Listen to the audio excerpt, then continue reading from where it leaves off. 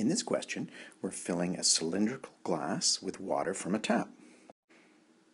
And we're given the radius of the glass, the rate at which water is flowing out of the tap into the glass, and we're asked to find how fast is the water level in the glass rising. Okay, to solve this, let's see what we're given. The radius is 4 centimeters. So if we look at the glass here, and we it's a cylinder, so the radius at the top would be here, and it's 4 centimeters. So we can write that down. Radius equals 4 centimeters. Next, we're told that the rate of flow of the water is 40 cubic centimeters per second.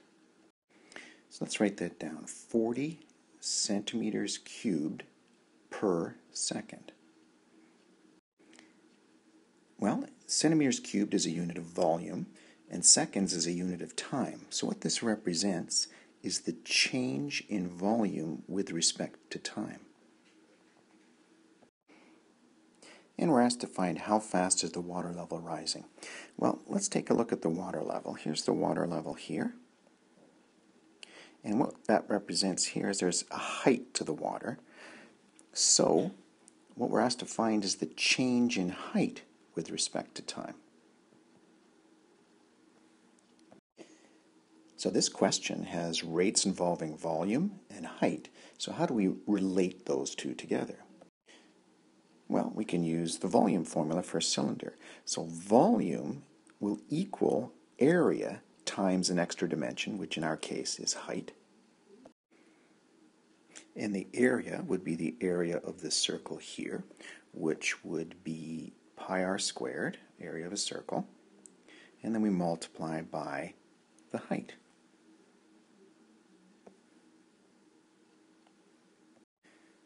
So our volume is pi r squared h. Now with a cylinder, the radius is always going to be 4 centimeters. There's no change in radius as water level rises. That means that the radius is a constant, so we can just sub it directly into our equation here. So that would give us volume equal to pi 4 squared h. Cleaning that up, we get volume equals to 16 pi h. Now we have a formula that relates volume to height.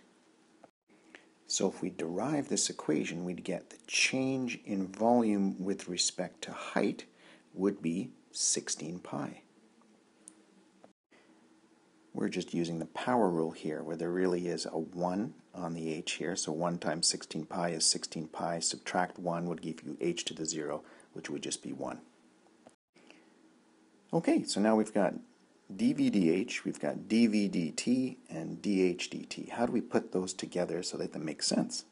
Well, the chain rule tells us that dVdt would equal dVdh multiplied by dHdt. Notice here that the change in heights would cancel out, so the change in volume with respect to time equals the change in volume with respect to time. So now we can just substitute. Change in volume with respect to time is 40 centimeters cubed per second. So I'll just write the number for now, leave the units out for the moment. We've got uh, change in volume with respect to height. Well, that's 16 pi, so we can put that in there, 16 pi. And then we've got uh, or the change in height with respect to time. Well, that's what we want to find out. So we'll leave that in there, dh dt. To isolate dh dt, we're going to get rid of the 16 pi. So we divide both sides by 16 pi.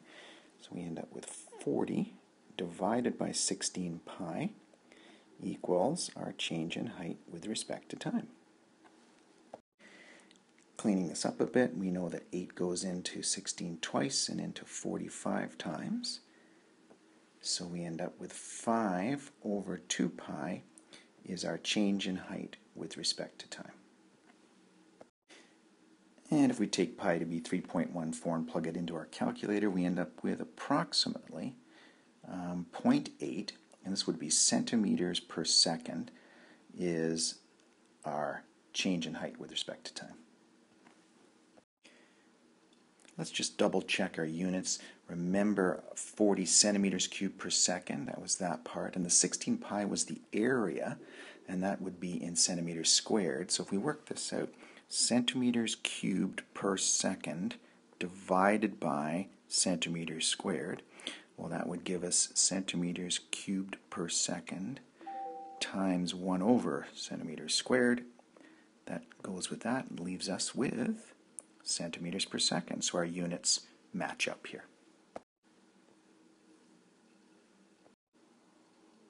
So what this is saying is that our water level is going to rise at a constant rate of 0.8 centimeters per second until it eventually fills up. And there you go.